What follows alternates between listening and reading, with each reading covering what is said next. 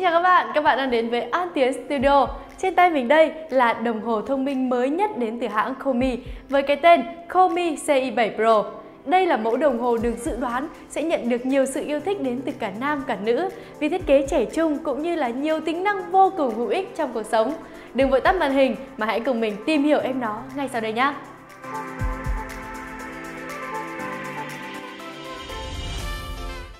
Komi CI7 Pro sở hữu một thiết kế năng động với kích thước khá vuông vức. Ở thân đồng hồ được thiết kế bằng kim loại, có độ dài chỉ 11mm cùng dây đeo cao su cho cảm giác thoải mái khi đeo, cho dù bạn đang làm việc hay là chơi thể thao. Ngoài ra, CI7 Pro còn được trang bị cả dây thép với hai màu đen và bạc nhìn rất sang. À, tuy nhiên dây thép thì hơi bó chặt vào cổ tay, à, mình con gái tay nhỏ thì đeo cảm giác không thoải mái cho lắm. Nhưng đối với các bạn nam thì chắc chắn là không có vấn đề gì. Về màn hình thì CI7 Pro được trang bị mặt kính chống xước, chống va đập. À, với màn hình cảm ứng IPS có kích thước là 1,3 inch, độ phân giải 240 x 240 pixel. CI7 Pro hiển thị khá rõ nét và chi tiết khi ở ngoài trời.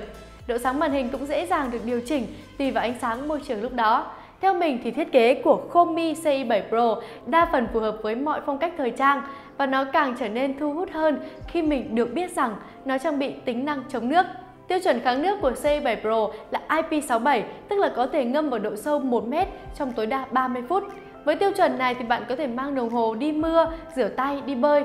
Tuy nhiên là mình khuyến cáo đừng vượt quá giới hạn cho phép của tiêu chuẩn mà hãng đã đưa ra. À, nếu như các bạn muốn chiếc đồng hồ yêu quý của mình được bền lâu hơn.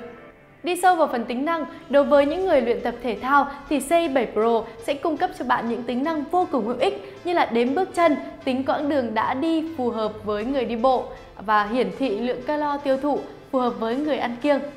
Các bộ môn thể thao được tích hợp trong CI7 Pro đều là những môn phổ biến bao gồm đi bộ, chạy bộ, đạp xe, leo núi, bóng đá, bóng rổ, bóng bàn và cầu lông.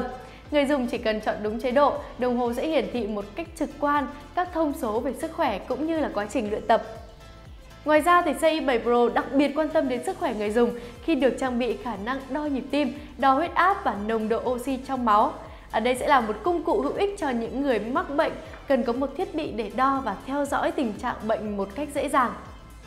Theo mình thì độ chính xác của nó cũng phải trên 85%, không thua kém là bao so với những thiết bị chuyên dụng. Tất cả thông số sức khỏe sẽ được lưu trữ lại một cách đầy đủ trên điện thoại của bạn thông qua một ứng dụng có tên là Fundo Pro.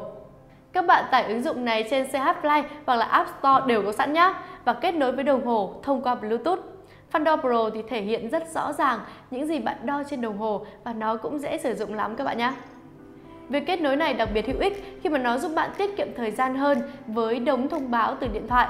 CI7 Pro thì có thể hiển thị thông báo từ cuộc gọi đến và tin nhắn từ mạng xã hội như là Facebook, Messenger, Instagram hay là Skype. À, các bạn thấy đây, nó hiển thị tốt được tiếng Việt cho dù menu chỉ hỗ trợ tiếng Anh. Các tính năng giải trí khác cũng hiện diện bên trong C7 Pro, điển hình như là báo thức. Các bạn set ngày giờ trên Fundo Pro và đồng hồ sẽ rung mạnh khi đến giờ nhé à, một tính năng nhắc nhở lịch trình hữu ích ngay trên cổ tay tính năng hỗ trợ chụp ảnh từ xa cũng rất thú vị cảm nhận của mình là em này chẳng khác gì một chiếc smartphone thu nhỏ cả à, cũng chẳng có gì đáng ngạc nhiên khi nó là một trong những mẫu bán chạy nhất tại An Tiến Hiện Xiaomi C7 Pro có hai phiên bản dây thép và dây cao su với nhiều màu sắc cho các bạn lựa chọn. Mức giá thì cũng khác biệt hơn một chút. Với C7 Pro bản dây cao su, mức giá dừng ở 1 triệu 200 ngàn đồng còn C7 Pro bản dây thép thì cao hơn 1 triệu 300 ngàn đồng. Các bạn hãy truy cập vào đường link bên dưới phần mô tả để check giá mới nhất nha. Nếu có thắc mắc gì về sản phẩm thì đừng ngần ngại để lại câu hỏi dưới phần bình luận để được giải đáp. Và đừng quên để lại một like cũng như là một subscribe để ủng hộ kênh chúng mình. Xin chào và hẹn gặp lại các bạn trong những video tiếp theo.